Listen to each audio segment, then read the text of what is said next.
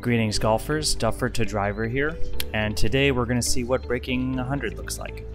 We'll be playing the front 9 holes of my home course, Golf Dorval.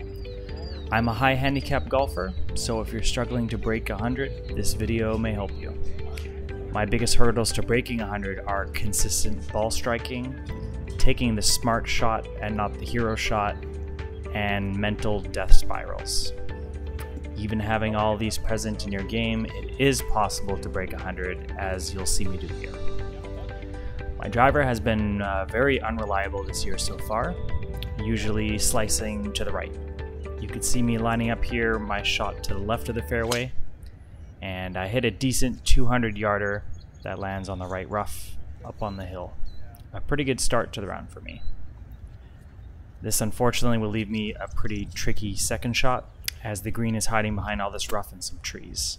Instead of trying to hit over the trees, I opt to hit more left, hoping to roll down onto the fairway in front of the green.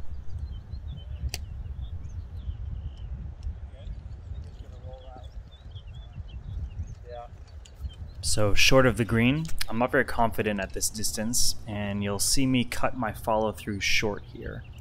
It's a reflex I have to avoid sending it over the green entirely and something I really need to work on. In this case, I get pretty lucky.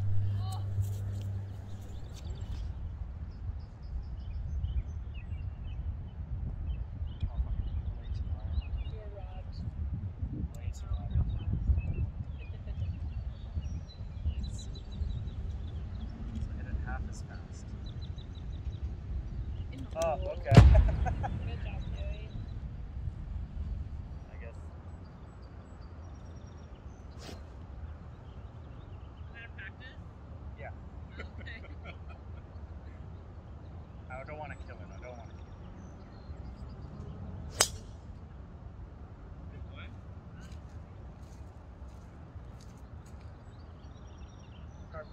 Here you'll see my first big mistake of the round, opting for my 3 wood in the rough.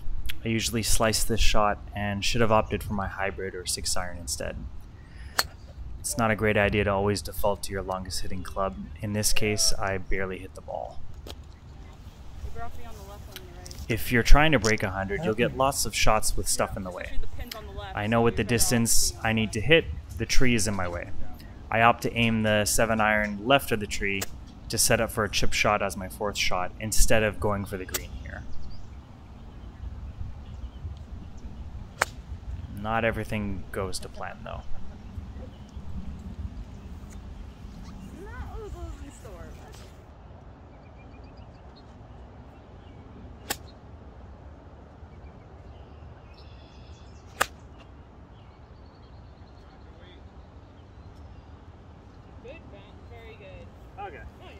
Yeah.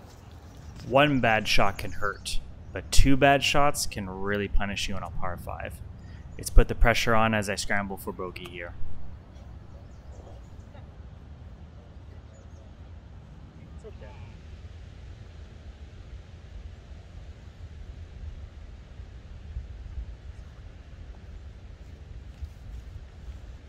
The hole!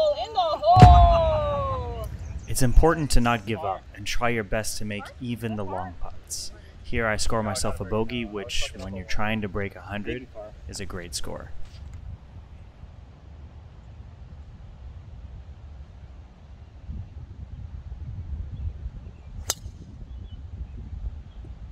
We can see here that my driver slice has vanished, so I hit the ball straight left towards the water. This unfortunately is the hardest hole in the course, which puts me in a bad position. I'm left with 165 yards to the hole, with water between myself and the green. To my right is the fairway, also over the water, and to the left is the green of the sixth hole. I decide to aim left of the green. I have less of a chance to lose my ball in the water, but still attack the hole. It's very risky because my aim is not consistent, and sometimes my irons just decide to go right. I even change out my golf ball to one that I don't mind losing in the water.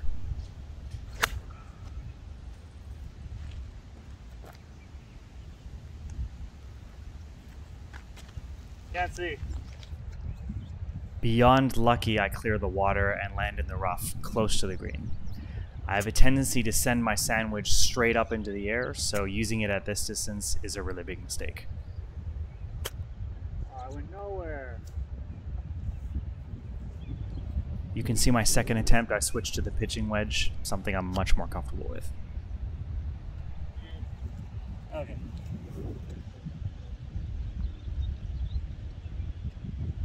Give me. You're good, you're good.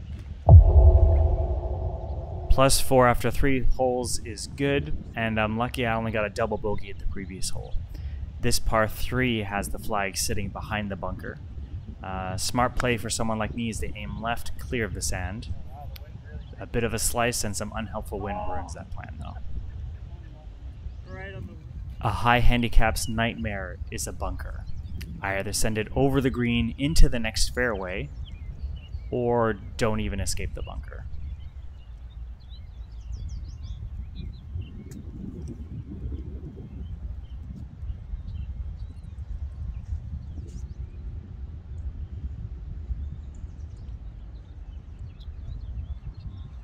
about that, but I don't understand why. Because it ruins the, um, yeah. Before I even. Despite just scoring a triple bogey, you'll notice I'm doing my best to try to stay positive. I don't count my score while I'm playing, so I don't actually know that I'm already plus 7 for the round. It helps me avoid death spirals and keeps the good shots possible.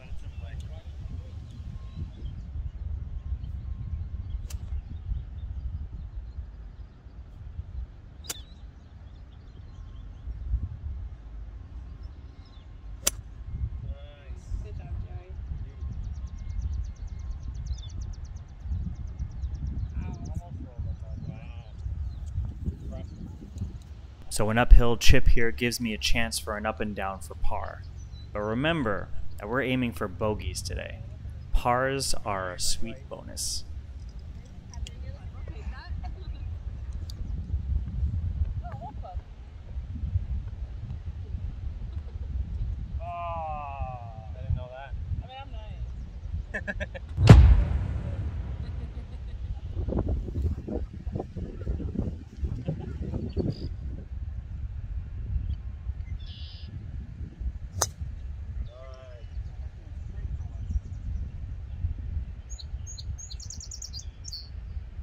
Now, although I'm in the rough here, I know I can make this shot onto the green as long as I have good contact. You can hear that I mess up my shot, but all is not lost. A lot of breaking 100 is trying to save yourself out of bad positions.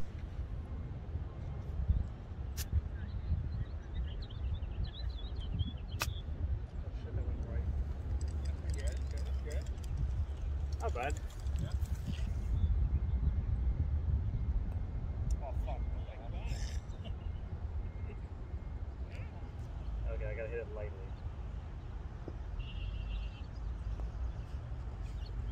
In the money. Oh. Nice. After getting a bogey on this hole, I'm feeling pretty confident. This hole, number 7, is protected by water in the front. I know my 6 iron will carry over the water if I hit it correctly, so I aim left to avoid the water. But my slice has other ideas.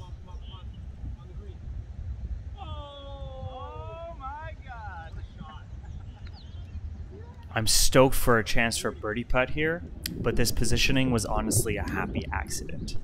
That's golf for you. Oh my god.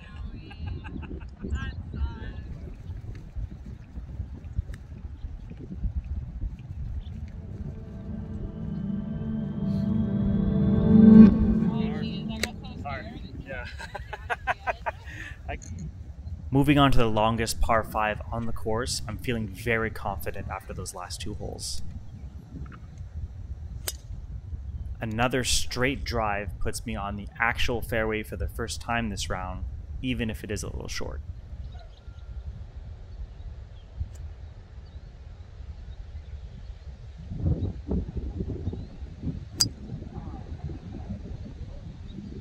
So my three wood wasn't a great hit, but I feel like I can get fairly close to the green with this club on this shot.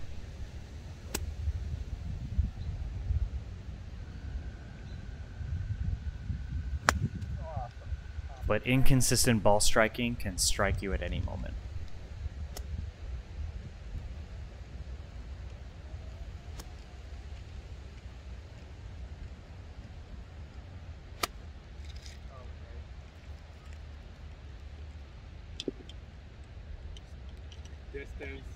So I picked the right club here, but I missed far right of the green.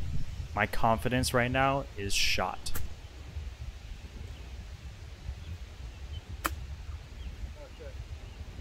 Good.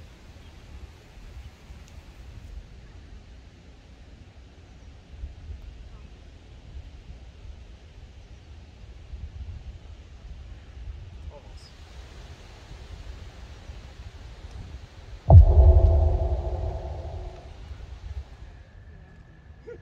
After the last hole, I'm not confident here. I mishit most of my shots on the last one, and now I'm all up in my head.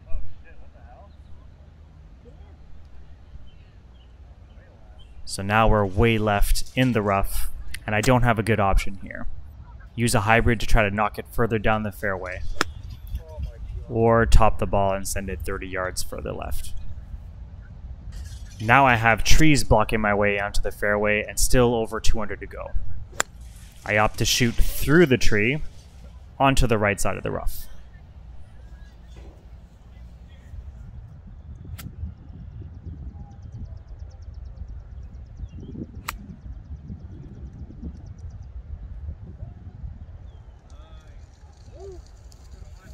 Thank you. Finally, a shot.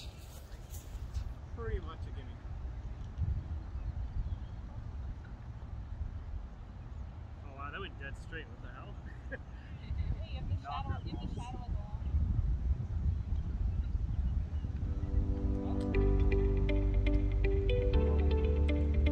and salvaging a double on the last hole puts me at 49 for the front nine. You do the same on the back nine, and we break 100. Trying to break 100 is far from what I would call clean golf. You'll be in the rough, scrambling from lots of mishits and bad lies. But with practice, change in mindset, it can come to you. Thank you everyone for watching. Make sure you like and subscribe, and let me know in the comments what helped you break 100, or if you haven't, what your biggest hurdle is.